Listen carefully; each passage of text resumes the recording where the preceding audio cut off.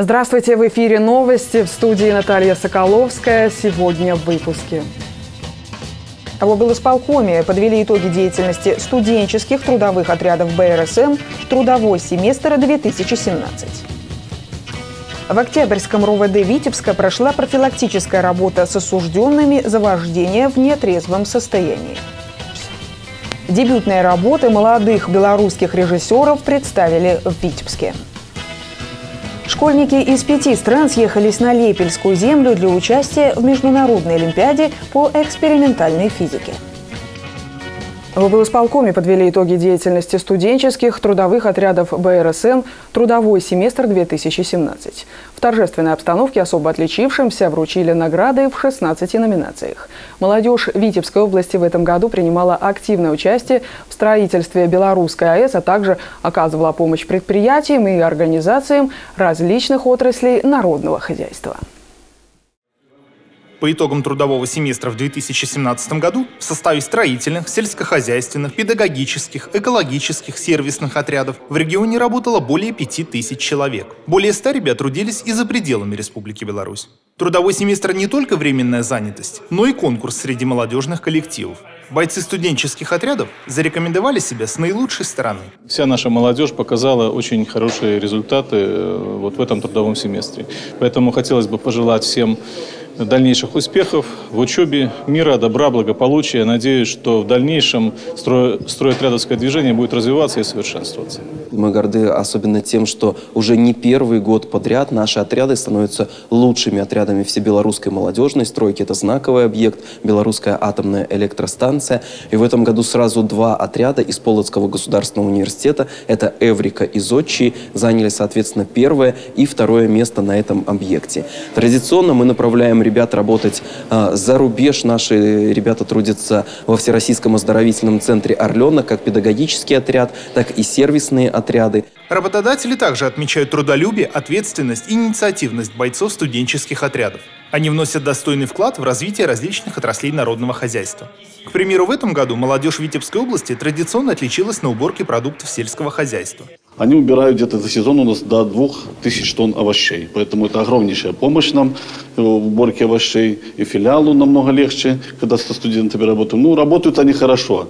И я хочу сказать, что все смены, мы обычно организовываем две смены, две недели одна смена работает, две недели вторая. Это где-то по 500 человек мы принимаем за год. Студотряды позволяют юношам и девушкам формировать практические навыки руководства коллективом.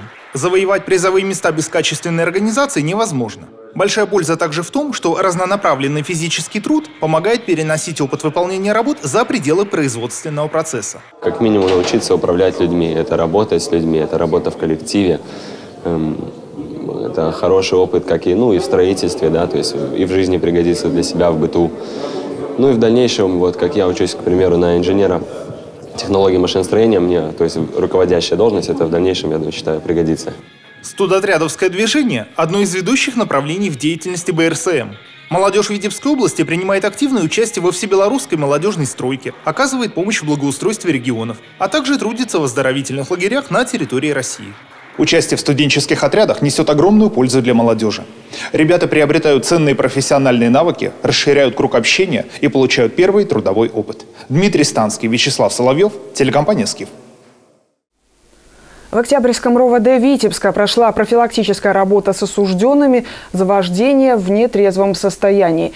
Перед ними выступили представители уголовно-исполнительной инспекции и прокуратуры. Также в программе был запланирован показ специального фильма о последствиях управления автомобилем после употребления алкоголя либо наркотиков. Подробности в репортаже Дмитрия Станского. Автомобиль – источник повышенной опасности. Поэтому некоторые преступления против безопасности движения относятся к категории тяжких. Виды санкций зависят от конкретного случая. Но даже без причинения вреда людям или имуществу, благодаря статье 317.1, нетрезвый водитель не уйдет от заслуженного наказания. За повторное управление транспортными средствами, лицами, находящимися в состоянии алкогольного опьянения, а также за передачу права управления транспортными средствами таким лицам, а равный отказ от прохождения а, свидетельствования, проверки, устанавливается наказание, установлено наказание в виде ареста, с лишением права занимать определенные должности, заниматься определенной деятельностью а, на сроком до пяти лет со штрафом, а также ограничение свободы. Несмотря на угрозу получить до 10 лет лишения свободы, нарушители правил дорожного движения позволяют себе повторно садиться за руль в нетрезвом виде. Часто они не в состоянии внятно объяснить свои действия, которые стали причиной печальных последствий. Отдыхал, поехал на встречу потом. Ну, думал, проеду так. Ну, там по таким дорогам, где мало бывает сотрудников ГАИ. Ну, не получилось. Спешил. Вот так вот. Профилактическая работа играет важную роль в жизни тех осужденных водителей, которые встали на путь исправления. Никому из них не хочется вновь оказаться на скамье подсудимых и, вполне возможно, получить реальный срок. Человек, который, соответственно, становится на учет в уголовно-исполнительной инспекции после совершения определенного правонарушения, то есть это управление транспортным средством в состоянии алкогольного опьянения, либо управление транспортным средством, не имея права управления, они начинают осознавать именно ту значимость законности ту всю серьезность законности, э, те санкции, которые предусмотрены законодательством Республики Беларусь и, соответственно, уже задумываются второй раз, третий, когда садятся за руль транспортного средства. Некоторые лица, несмотря на запрет управления авто по решению суда, снова попадаются на вождении под градусом. Закон един для всех, и в отношении таких злостных нарушителей принимаются дополнительные меры воздействия. В Октябрьском районе уголовно-исполнительной инспекции Октябрьского района города Витебска а, возбуждено 4 уголовных дела именно по статье 417 Уголовного кодекса Республики Беларусь, то есть неисполнение приговора суда. Управление транспортным средством в состоянии алкогольного опьянения в наши дни происходит так же часто, как парковка в запрещенном месте либо превышение скорости. В такие моменты люди не задумываются о последствиях. Алкоголь и руль несовместимы. Давно известна истина. Правоохранители призывают водителей не переоценивать свои физиологические возможности и не доверять судьбу карманным алкотестерам. Дмитрий Станский, Вячеслав Соловьев, телекомпания «Скиф». Дебютные работы молодых белорусских режиссеров представили в Витебске. В кинотеатре «Мир» показали проект киностудии «Беларусь фильм». Сам киноальманах «Мы» включает пять короткометражек в различных жанрах. Среди них как драматические, так и лирические картины. Подробности в репортаже Инны Ширкевич. Открыла кинопоказ новогодняя история о внезапной любви. Главным героем короткометражки «Подарок Санта-Клауса» стал молодой воришка Антон. Он, как говорится, орудует на железнодорожном вокзале. Украв оставленный в аэропорту чемодан, впоследствии находит внутри него девушку Машу. Так, что мне Санта-Клаус подарил?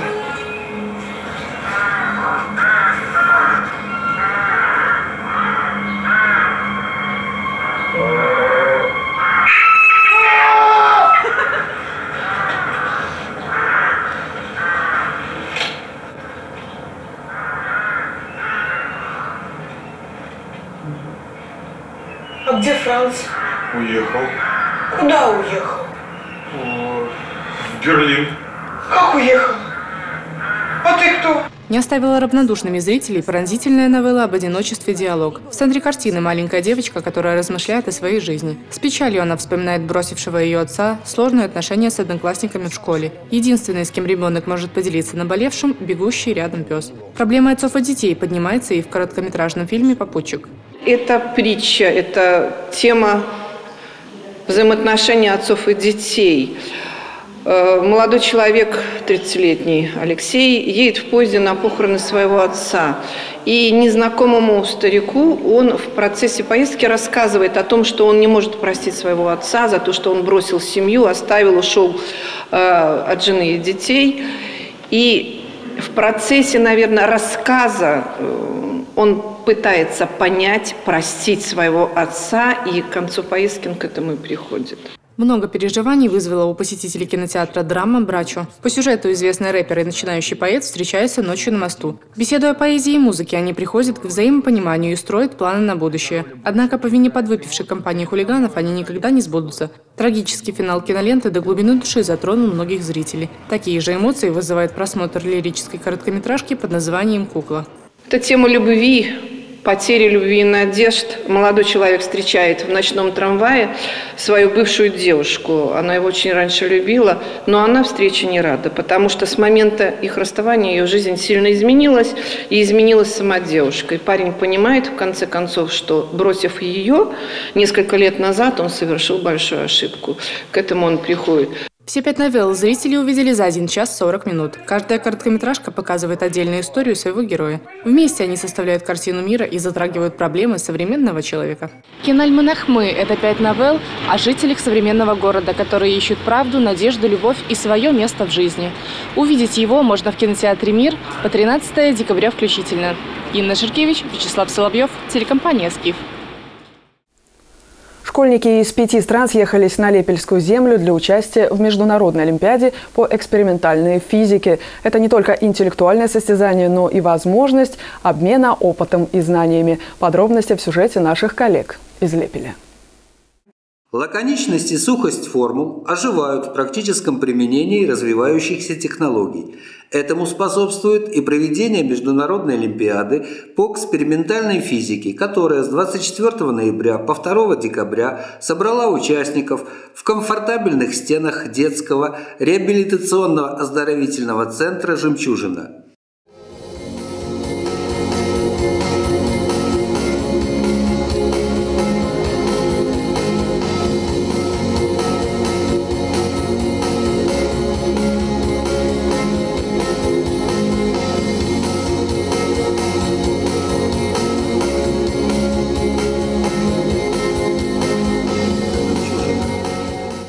На Международную Олимпиаду съехали школьники 8-11 классов из пяти стран – Армении, Белоруссии, Казахстана, России и Словакии. Открытие Олимпиады состоялось в Доме офицеров воинской части Заслонова. Школьники попробуют решить самые разнообразные задачи физического свойства, где необходимо будет исследовать какое-либо явление, измерить физические величины, придумать свой уникальный алгоритм решения – о целях и задачах Олимпиады рассказал один из членов международного жюри, руководитель сборной города Москвы по физике Илья Владимирович Лукьянов.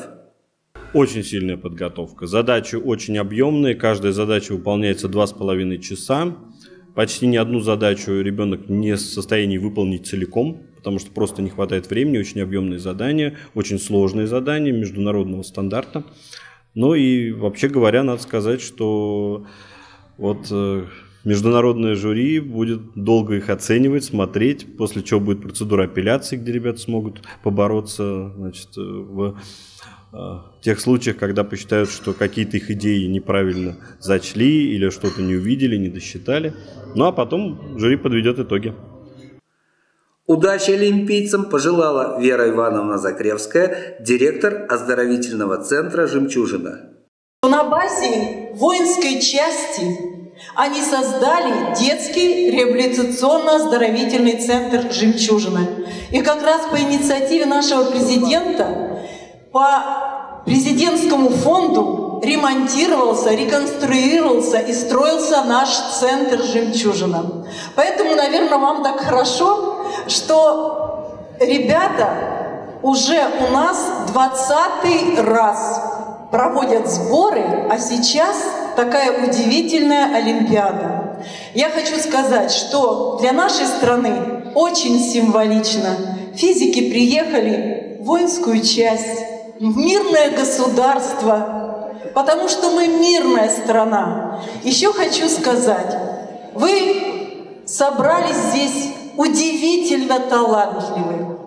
Я хочу вам очень пожелать удачи на Олимпиаде, и не только на Олимпиаде, а в целом по жизни. Очень хочется э, верить в то, что с каждой из вас совершит уникальные открытия.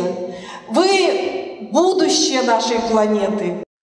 А потом ребята послушали национальные белорусские песни в исполнении коллектива «Гримзоли» из города Лепеля, и состоялось представление команд.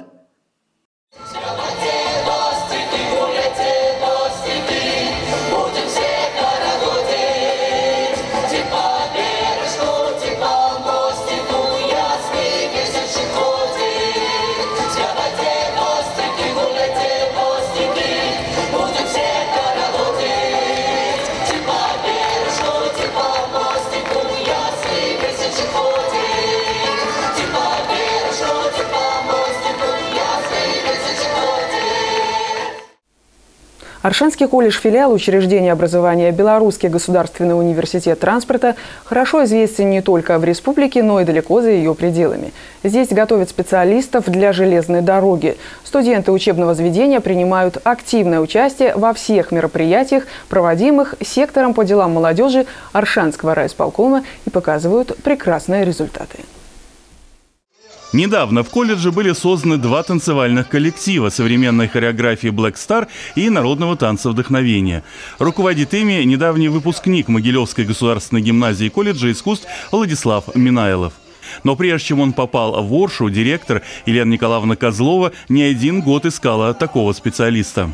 Как говорят, кто ищет, тот всегда найдет. Поэтому э, был у нас первоцвет, и помогал нам здесь. Мы готовили программу.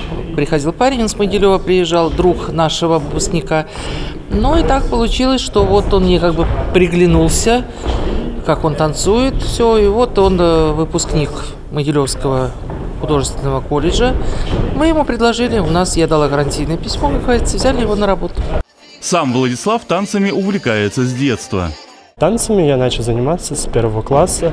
Ко мне в школу пришла учительница под хореографией, спросила, кто хочет танцевать. Ну, я сам вызвался, и все. Вот с первого класса я до по сей день занимаюсь хореографией. Я учил так отдельно классику, у меня был свой урок по классическому танцу. Также был народный, современный. Ходил в несколько коллективов, таких как Лайданс, это народный ансамбль эстрадного танца Лайданс. Также помогал э, заслуженному ансамблю народного танца «Рунь» и э, заслуженному коллективу народного танца «Сувенир». В Варшанском колледже все надо было начинать с чистого листа. Объявили набор, провели кастинг, а желающих набралось на два отдельных коллектива. Первые дни мы занимали все вместе. И я давал и народные, и современную хореографию, и эстраду. И поэтому в таком плане, что мы и туда я определил людей, и туда, и поэтому они учат и народные, и эстраду. Каждый свой коллектив, свое направление. Каждый вечер он до 9 часов занимается с ребятами. Э, и девчонки, и ребята, и потянулись, и как бы результат есть. Проводили и родительские собрания, сделали хороший, достойный концерт, участвовали они, и в Дню учителя. Ну, много уже мероприятий проводили, и везде э, танцевальные два коллектива у него танцевальных. Одна из участниц коллектива Black Star Алина Бордюк, родом из Брестской области. Учится на четвертом курсе, живет в общежитии. Нужно чем-то занять свое свободное время, а тут такая возможность, новый руководитель, и здесь ходит много людей, здесь очень весело, и есть чем занять свободное время. Как работается с новым руководителем?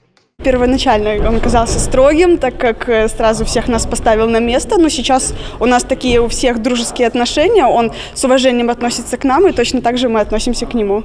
И пусть пока не все получается, и руководитель явно выделяется среди своих учеников, как считает Елена Николаевна, это не самое главное. Главное, чтобы им хотелось танцевать, главное, чтобы интерес не пропал. А если они чуть-чуть не так двигаются, как руководить, это не важно. Я хочу, чтобы мои дети были самыми лучшими, и хочу им дать самое лучшее, чтобы они были самыми непобедимыми. К конкурсу «Творческий ринг», который совсем недавно прошел в ДКЖ, готовились долго. Репетировали до позднего вечера. Результат – яркое и незабываемое зрелище.